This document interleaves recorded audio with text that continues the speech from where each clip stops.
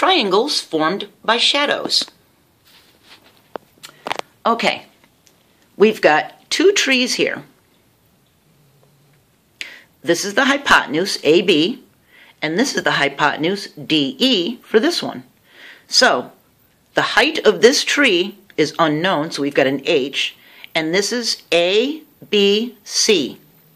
This is 18 feet tall, and this is angle D, E, F. Now, if you notice, right here, let me grab a marker. If you notice, right here, and right here are 90 degree angles.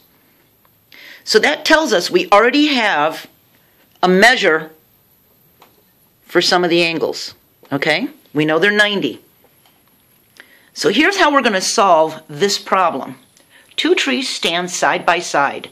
The shorter tree is 18 feet high and casts a 30 foot shadow. The taller tree casts a 55 foot shadow. How tall is the larger tree? So we're going to use the information from this one to find out the height of this one because we know this one's 18 feet tall with a 30 foot shadow. That's going to be our ratios. So we're going to identify the corresponding angles and sides. And let me back a little bit so you can see. We've got the angle of the measure of angle C is equal to the measure of angle F. Okay, where's angle C? Right there, and F right there. Okay, well, we know those are both 90 degrees. The measure of angle B and the measure of angle E are equal. Okay, here's B and here's E. They're equal, whatever they are height for here and 18 feet here are corresponding sides. Okay, they correspond. The measure of angle A, that's this guy at the top of the tree, and the measure of angle D are equal.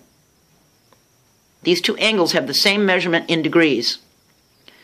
The sides, 55 feet here, the shadow, and the 30 feet are corresponding sides. So write a proportion with h, the height, to help solve it. So we know the large height over the small height is equal to the long shadow over the short shadow. Or you can say h over the 18 feet, this over this, is equal to this over this.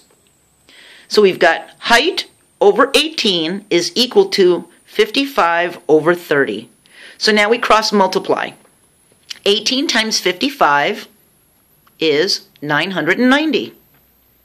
So now whatever 30 times h is should be 990.